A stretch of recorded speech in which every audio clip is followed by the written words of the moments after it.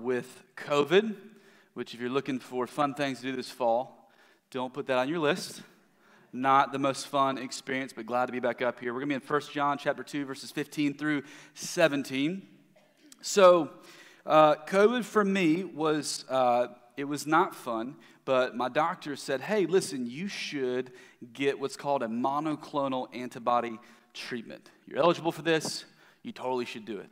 And I heard about this, and I heard it was like the game changer, that it just like kills COVID. So I said, yes, I'm in because I feel terrible. Um, so I went, but I knew that this was going to be a difficult experience for me uh, because it's about a 30 to 45 minute IV drip treatment. And I don't do well with IVs. I have what's called a vasovagal response, which is the fancy medical word for you faint. So I I can get a shot and it's fine, but you leave it in me and you're taking blood out and you're putting stuff in. It's like, nope. And about a month and a half ago, I was like, I, got, I had to get blood, uh, blood work done. And I was like, I, I went through the whole time. I did not, I didn't faint. And I was like, you know what? You're doing it, man. I think you're getting over this.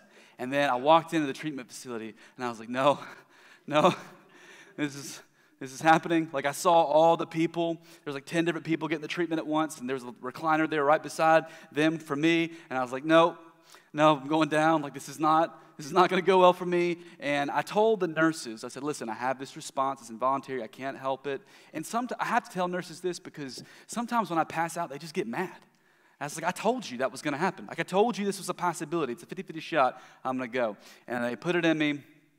And about, I don't know how many minutes it took. I was gone, just completely passed out. And they were pros. They handled it like a champ. They took my mask off, let me breathe. All of a sudden, a couple minutes, I'm, I'm, I'm back to it. Uh, and then all of a sudden, I'm break out in this cold, just awful sweat, and I'm just like, I'm just, I'm just kind of like this. And then the nausea sets in, and, uh, and I know that you came from a medical history, so I might as well go deeper. I can't, um, about 10 years ago, I had a stomach surgery to where I can't throw up. Like I literally cannot throw up. I can dry heave, but I can't throw up. So the nausea sets in, and like I'm just like dry heaving, like ah, like I'm just like I'm dry heaving. And there are all these people who are like behind me, beside me, are handling their treatment like a pro, like an adult. I'm just like dying.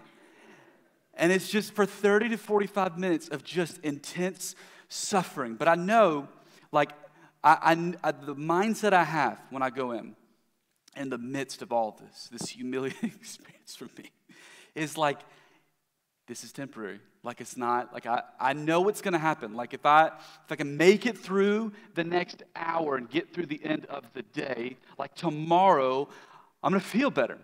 And it's gonna be great. And guess what? I woke up the next day and it killed COVID. Like it was, it was an amazing, like it was just a complete turnaround. But I had to have this mindset. Like I needed to keep the, the bigger picture in play. I had to tell myself, this is really hard, but just get through it. Get to the other side, and it's going to be better. All right? Sometimes you got to reframe your reality. You got to have a proper perspective and understand how things are so that you can make it through it. And that is what we get to do in First John today. First John is going to uh, give us a big picture for how to approach some of the more difficult teachings that he's giving us that he's going to call us to some really difficult obedience as he's already done, but he's going to uh, reframe it in a way that helps us understand why we do this, that helps us understand the purpose behind this. And the hope is that as we receive difficult teaching, we can take a step back, we can reframe our reality so that we can do this in a way that is helpful and good for us. So, let me read uh, 15 through 17, then we will jump in. 15, do not love the world or the things in the world. If anyone loves the world, the love of the Father is not in him. For all that is in the world, the desires of the flesh and the desires of the eyes and the pride of life is not from the Father, but is from the world. And the world is passing away along with its desires, but whoever does the will of, the, of God abides forever. So let me pray and then we'll jump in. Father, you are good, and we are thankful that your steadfast love endures forever. Lord, you call us to difficult teachings and difficult obedience. God, I pray that you'd help us understand this in light of your greater purposes and your will for us in our lives. We ask this in Jesus' name. Amen. Okay, so Verse 15 Do not love the world or the things in the world. If anyone loves the world, the love of the Father is not in him. So, if you were here last week, we got to walk through uh, some really encouraging verses. Like John feels this tension of, I am I'm calling you to some difficult teaching, some difficult obedience. And we just, we actually originally had last week's text and this week's text together, but we just like, no, we, First John is a lot. So we need to just take a moment and just appreciate, like being encouraged, who we are in Christ. And he does that and then jumps right back into a really difficult statement that is heavy. Do not love the world or the things in the world. Now, you can take that as kind of a blanket statement and run with it in a lot of different directions. Like, what does that mean, not love the world? We don't, we don't love the, the literal world. Do not love the world like culture. I mean, you could fill that in with whatever boogeyman you want from the world. Don't, do not love socialists. Like, you could just fill in the blank with whatever you want. Does that mean that whatever it is, whatever the world is, we just need to like remove ourselves from it? Do we need to go and live like monks out in the wilderness and get away from the world? Like, what is he calling us to? Now, when you study the Bible, you don't try to say, what does the text mean to me? All right, that's one of the things. If you've been with us in community groups the last couple of months, we're walking through First John. We're trying to grow in studying the Bible. That the text actually has meaning. There's interpretation that is meant to, uh, that, that isn't just whatever we feel it is. That actually, if you study it closely, the Bible tells us what it means. And, and in this passage specifically, it doesn't just leave us hanging where we can fill world in with whatever we want to. It actually goes on to define what the world is in verse 16. So he says, For all that is in the world. And then he goes, hyphen, okay? This is what's going to define the world. This is what he means when he is using world in First John. He says, The desires of the flesh and the desires of the eyes and the pride of life is not from the Father, but is from the world. Okay, so that is how John is using in First John world. Desires of the flesh, desires of the eye, pride of life. Right? Does it mean that every time you see world elsewhere in the scriptures, that's exactly how it's being used? But it means for right here in its context, this is what he's getting at. And these worldly loves are in opposition to the love of the Father. They're in opposition to the love of God. They are not from the Father, they are from the world. So, understanding uh, what this is is incredibly important for our faith. Uh, when I was a kid, I, I I learned that if you lit a candle, you didn't have to, if you wanted to extinguish the flame, you didn't just have to blow it out. That you could just take the lid and you could cover it up and then it would snuff it out. Like that, that, that, light, that flames, that fire needs air. And if you don't have air, it's just going to go out. So I would, I would take the top and I just kind of put it over the top and watch the flame kind of slowly flicker and dwindle and then I'd, I'd, I'd, open it back up and flood it with air, and then the flame would come back to life. I'd do that over and over again until finally, like it would finally just completely just be out. So, we need the love of God, and it is the air that actually breathes life into our faith. It, it is the air that breathes life into the flame of our faith. And when you remove it, you're, just, you're taking that top and you're putting it right over the candle. You're putting right over your faith. You are taking out the love of God in the way that actually sustains our faith, that gives life to our faith. And when you choose to love the world and the things in the world, you are removing the love of God. You're removing the love of the Father. So, if that is true, if we need this type of, of love to sustain us, we need to remove the love of the world that will extinguish our faith, and we need to understand what he is getting at when he talks about the world. We need to understand these three different statements. So I want to walk through these three different descriptions of what the world is, starting with the desires of the flesh. So, desires of the flesh. The Greek word for uh, desires there is the Greek word epithumia. So every now and then, just like to, to, to help us understand this, the uh, New Testament is written in Greek. The Old Testament was written down in Hebrew and Aramaic. What we have in English are amazing translations of those languages. Amazing translations. So if any of you get really excited about translations and like to argue over which one's the best, just stop. First off, almost nobody wants to hear that. And second, we're really blessed in the English language to have like 200 different translations, and many of them are very, very good. But the word for desires there is epithumia. Now, when that word is used in the New Testament in different areas, it takes on the word desires, it also takes on the word passions, and it also takes on the word lusts. So that's that, the kind of the idea that it's capturing. And, and what it's getting here is this strong desire, this strong desire, passion, lust for. That we have these strong desires in the flesh. Now, that can be fairly broad and have a broad range of meaning. Right? That can mean like strong desires of the flesh, like desire for uh, substances, like alcohol or for uh, for weed or for pills. Like there can be strong desire for that. I can all also range all the way to, which is one of the clearer pictures that we get from this, which is lust of the flesh, which is sexual sin. One commentator puts it this way: he says that this uh, should he translates this whatever the body hankers for, whatever your uh, body, whatever your flesh craves for. And a lot of time, uh, the, the, the most immediate meaning, and it's one of the bigger impacts on not just our culture, but all cultures throughout the last 2,000 years. It is talking about sexual sin. That sexual sin is something that is bound up in the desires of the flesh. And it is something that can extinguish the, the flame of faith with, within us.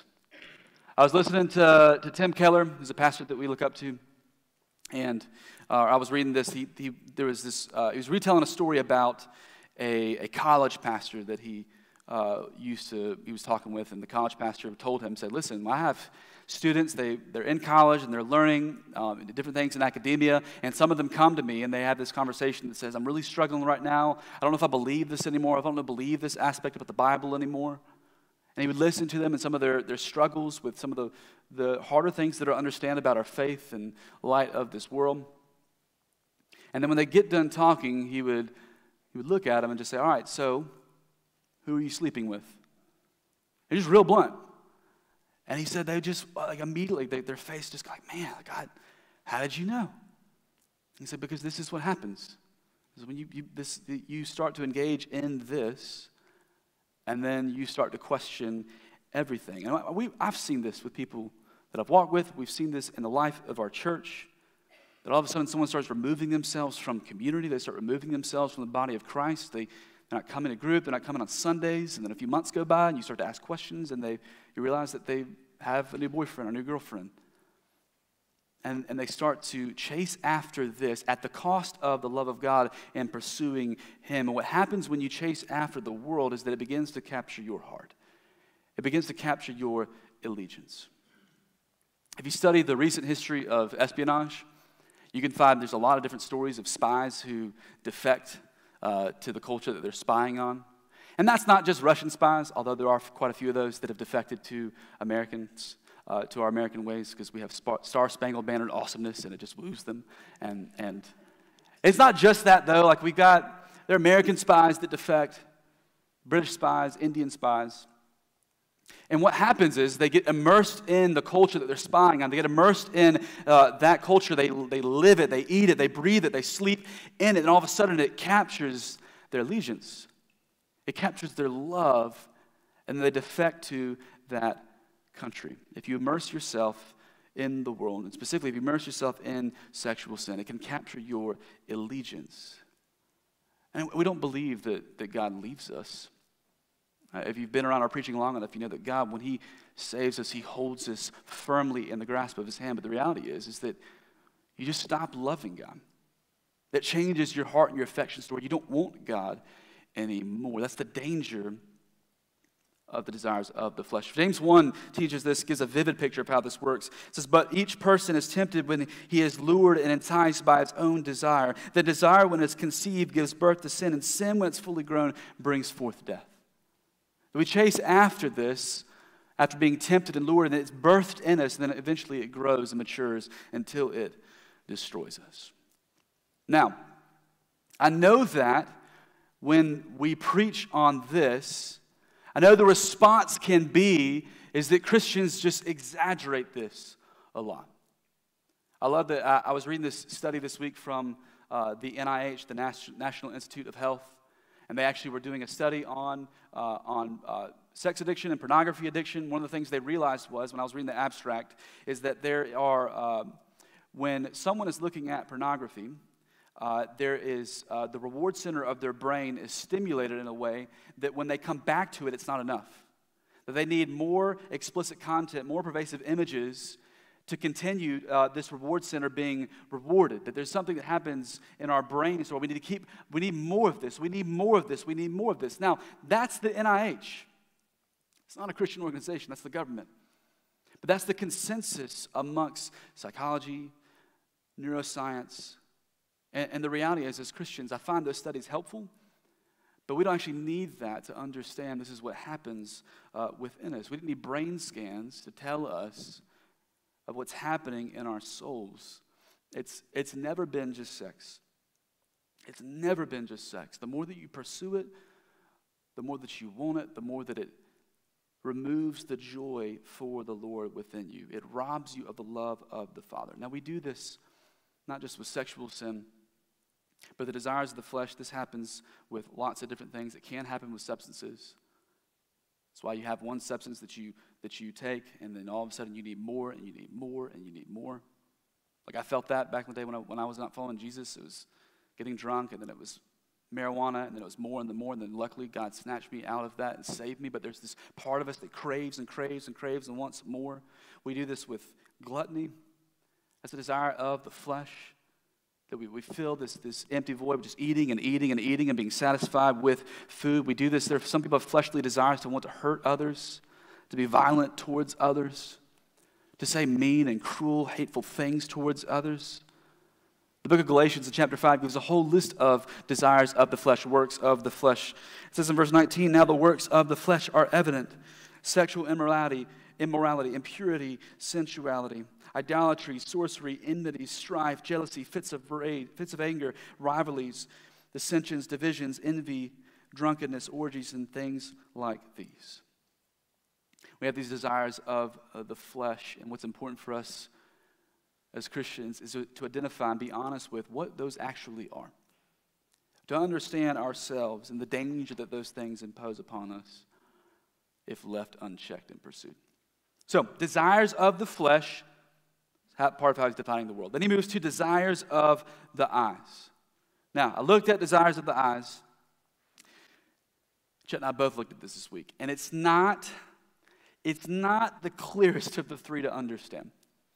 Like it's, it, it's not super clear, right? So same word for, uh, uh, for desire, lust, passion, right? Same word, but now it shifts from the flesh to the eyes. Now it's possible that it could be further explaining that first concept, right? Desires of the flesh, but it's more of a visual thing. It's possible it could roll into the next one. We'll get to uh, pride of, of life in a moment. It's possible it could be hitting on both of those. There's a, there's a few different commentators that looked at this, and I thought that uh, there's an element of this that I found to be helpful in understanding it. They said that part of this is covetousness.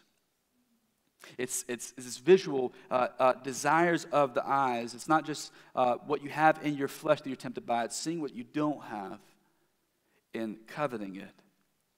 So I have three children. We actually got a pile of children in this church. And when you get them together, one of the things that's kind of funny to watch is, uh, is especially young children, they, you can visually see covetousness on their face. Like it's just, it's visual. Like they see a toy that they don't have at a friend's house, and it's like Gollum from uh, Lord of the Rings, ah, my precious. Like they, they just, they, they cue in, and it's like you, if you watch it, you're like, that kid's gonna steal that toy.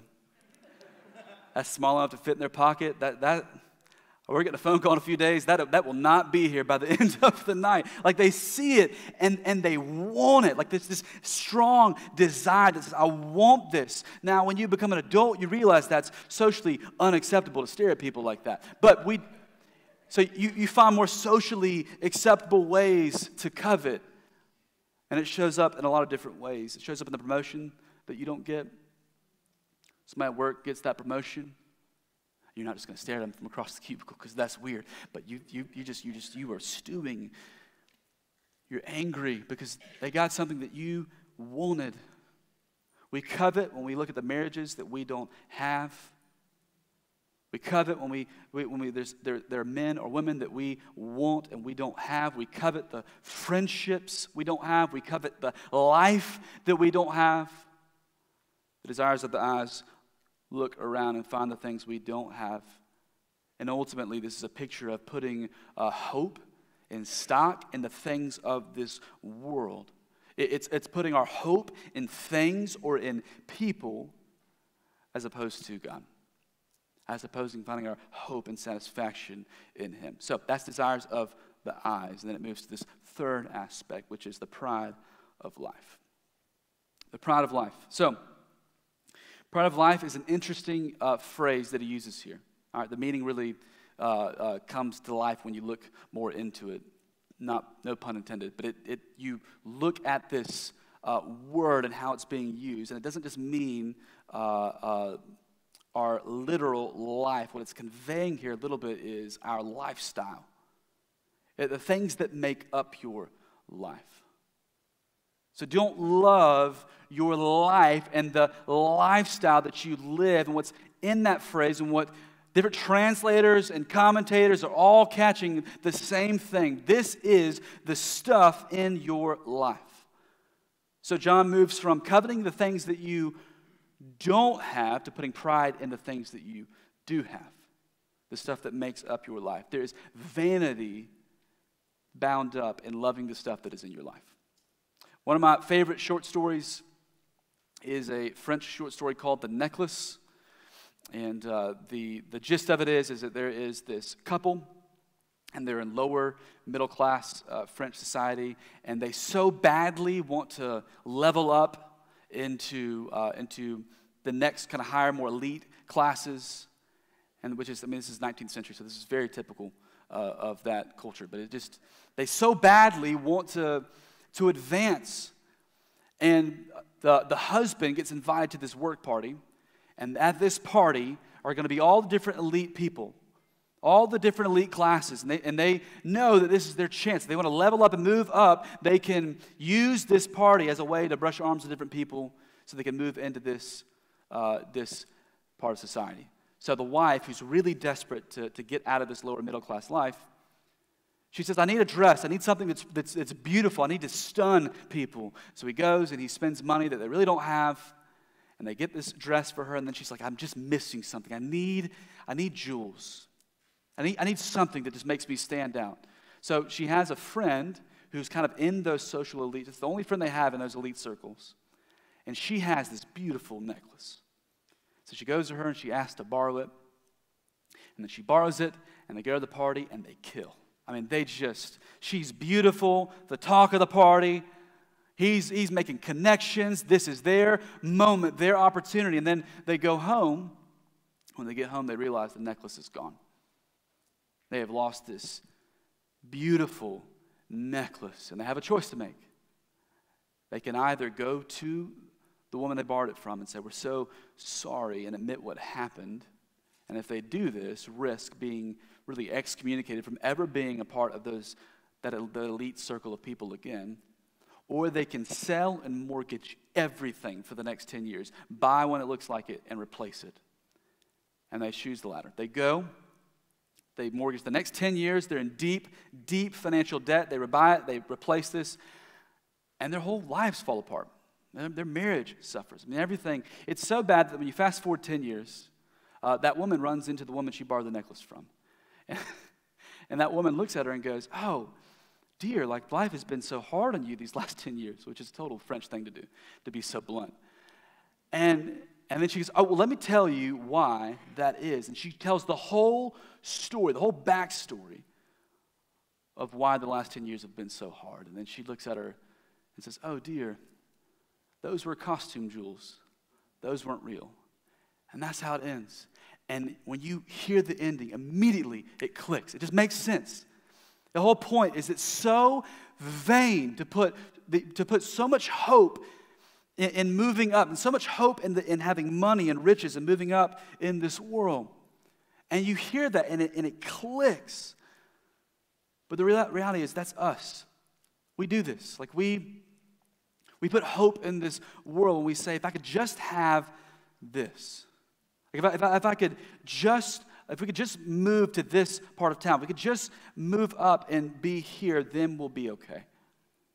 And we've seen this parable play out in our own lives over and over and over again. We, we know this, and yet it's something the American church has failed to address on a meaningful level.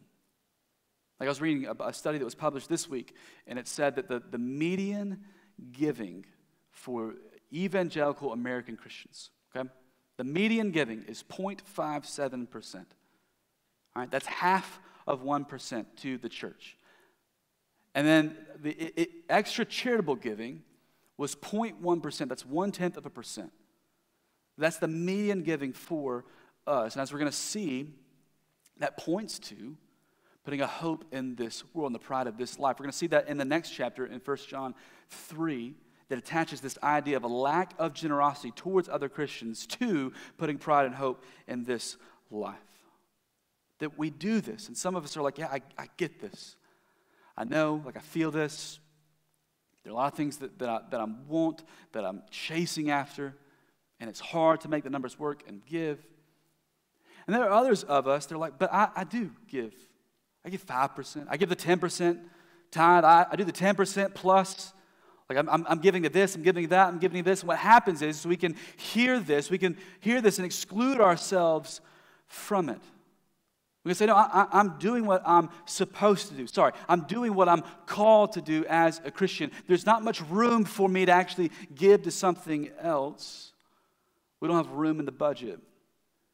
And the reality is, is that the reason why we don't have room is because we love our stuff. Our budget is filled with subscriptions and things that we love. And what I realized was in preparing for this is that if you've been with us the last few years, this isn't new. Like we, we know this. Like we, we the studies on, on giving have only gotten worse over the last few years. And we also know, if you've been with us for a few years, that we have our Give series coming up.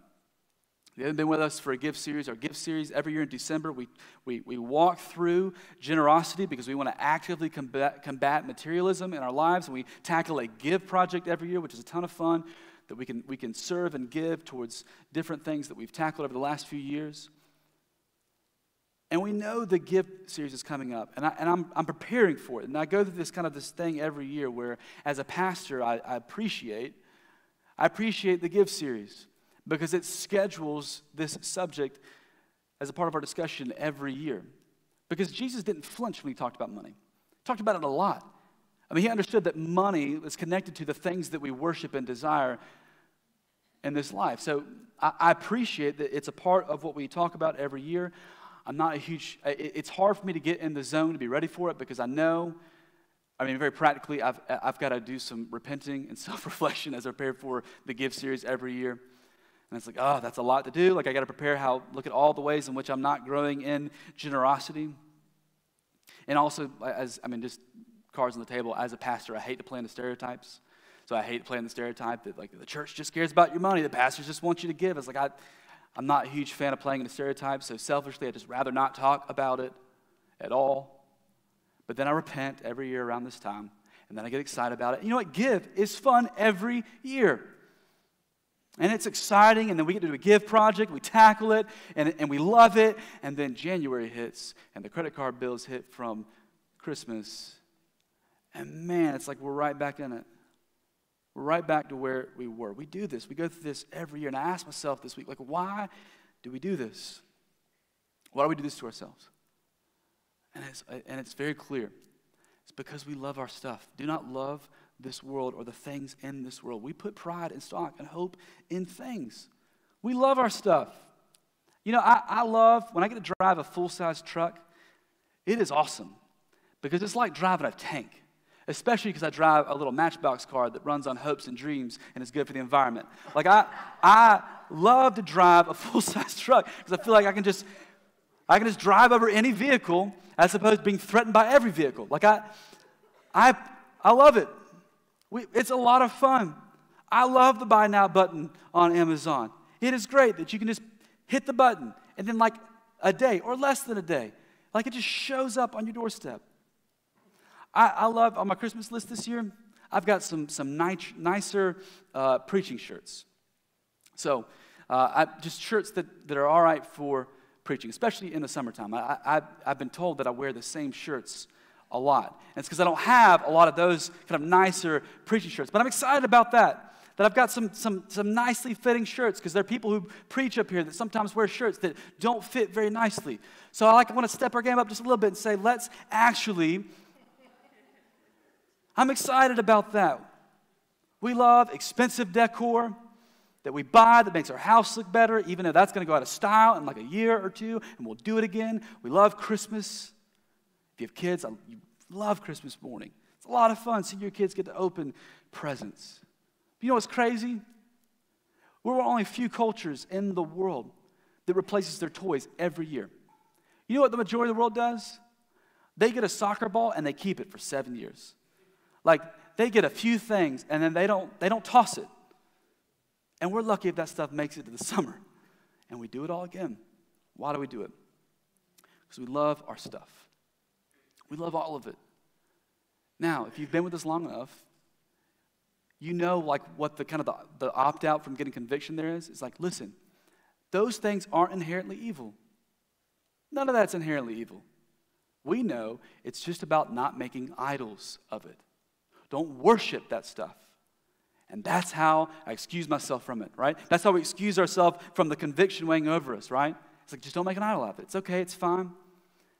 But if, here's the deal if God started to poke in pride at your heart and saying, you know what, that money that you've been saving up for, that you want to upgrade your vehicle, you want to upgrade this, you want to, how about don't?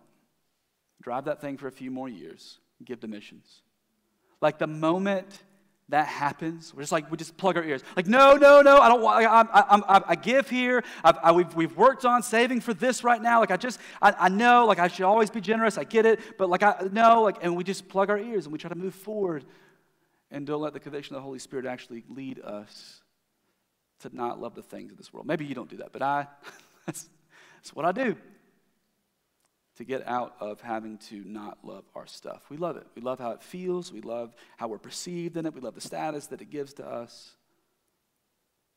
And the scriptures in First John is teaching that that love of stuff is incompatible with the love of God. Because pride in this life is a cheap substitute for God. That you will look to your things and your lifestyle for status, for security, for comfort, for hope. And it's like, it's not worth it. Those things are meant to be found in Christ. So he says, don't do it. Don't fall in love with the things of this world. Don't make, put your hope in the pride of this life. It says, desires of the flesh, desires of the eyes, pride of this life. The pride of life. Don't do it. Don't fall for it. Don't buy it. Don't fall for the passion for pleasure and the pride in your possessions, because if you do this, it ends up in hopelessness. So, it's a difficult thing to receive. I'm thankful that verse 17 exists because it gives us a remedy. He says in verse 17, and the world is passing away along with its desires. But whoever does the will of God abides forever. And that is the perspective that we need. That is how we take a step back from loving this world. The desires of the flesh, the desires of our eyes, the pride of life. 17 is the perspective that we need to, to be eternally focused in a way that we would see the things that we have and look past them. Like, I, I love that John is just so logical here. He says, Don't you see? Those things are going to pass away. Like, they, they don't last into eternity. And pass away, it's a very cleaned up way of saying that those are going to be burned up in judgment. They won't last. And if you pursue those things wholeheartedly, you will follow that path too. Don't do it. That's why I, I, I, know, I think a few months back I mentioned this, and I, I every now and then I want, I want to help us see that sometimes you just have got to play the logic out of what your sin is pursuing and realize where that goes, that it doesn't end well. Like I'll do this. Like if I, uh, like if there's sexual temptation, like all right, if that, if that, if I, if I give in here, then it leads to this, and if it leads to this, then I can wreck my family, my marriage, my wife, and I ultimately know that if I chase after this, that it's going to grab my affections, and I'm not going to want Jesus anymore. And if I go after this headlong, it leads into destruction and judgment. And I play that out for a thousand years to come, and I'm like, I'm not, I'm not doing it. I'm not doing it. I'm not taking that step forward. And we got to do that. Got to reframe your understanding to see past the things that you want in this present life and look into eternity and reframe your reality and say, is the click worth it? Is swiping right worth it? Is leveling up and putting all of your hope in moving up, is that worth it? Is it worth it in filling our days with gadgets and toys and trinkets and things that will not last? It's not worth it. One of my favorite moments in the New Testament is when Jesus is in the Garden of Gethsemane. And there's this moment where you just you see his humanity, where he just you just see he doesn't want to go to the cross because he understands what's waiting there. It's not just the immense suffering of being tortured, having his flesh ripped open, and suffocating slowly to death on the cross. It's not just the physical suffering that awaits him, it is the disfellowship with God the Father when the full cup of his wrath is poured out on him. It's the spiritual, intense suffering that awaits him. He understands what's ahead of him. And what I love about what he does, and he says, I'm going to I'm going to obey the will of the Father. Because temporary suffering is worth it because he understands that it buys us and purchases us eternal satisfaction and joy in Christ. And his temporary suffering is, is at the cost of the eternal joy of you and me and those who have trusted in Christ. Like Jesus gets it. He gets this eternal mindset that it's worth it. That's why Augustine says, hold fast to Christ, for he became temporal so that you might partake of eternity. He does this for us so that we can experience eternal joy in Christ. And we have to get out of the next just few days or few weeks or few years mindset and see past that to where it's blurred out and we see that as it resounds into eternity. You all ever seen the show Let's Make a Deal? Right? Pretty easy show. Bring on a contestant, compete for some prizes, and the, the really, the, the, the, main part of the show is they, they have this prize that they've won. And they say, all right, let's make a deal. You can take this prize right here, or behind that curtain over there is another prize. You can't see it, but you can take the risk and get it. All right? Either keep the prize that you have or go behind what's the curtain over there. Now, if you played that game and they said, hey, you know what? You came with your best friend, they actually can stand at the curtain, peek behind it, and tell you if you should take it or not it would be a boring show. There would be a pilot episode, and everyone would go, This show is dumb. Because the, the, the, suspense of not knowing what's there is what keeps you there. But the reality is, is that we get that in Christ, right? That we have this present world that's in front of us. And Jesus stands at the curtain and he's looking behind and says, Oh, you want this. You, you want what's waiting you. Just ditch that. Don't go after that. Go forth this. It's way better. And what we do is, is that we look at what's right in front of us. We look at this life, desires the flesh, the desires the eyes, the pride of life, and we say, I don't know. I don't know what I've got's pretty good right now. And we reject that. And that shows that we don't actually trust Jesus when he says, What I offer is better than everything else.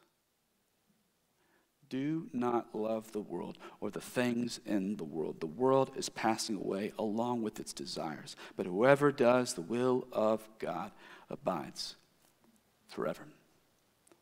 That's the hope. Saying no to the desires of the flesh, the desires of the eyes, the pride of this life is hard. It's difficult. No doubt. Like it, it, it's hard. And sometimes it feels like suffering.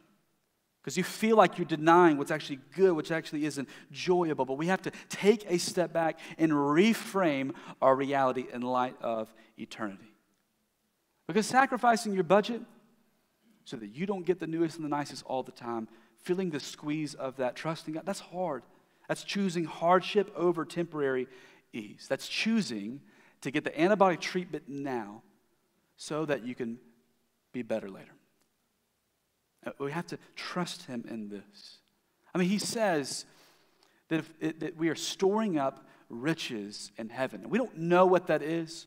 We know that if you're in Christ, you get Jesus forever, but there's some additional reward on top of that when you are obedient to Him. Like, we don't know, the scriptures doesn't give us real clear handles, but what He's saying is, is that it's good and that it's worth it.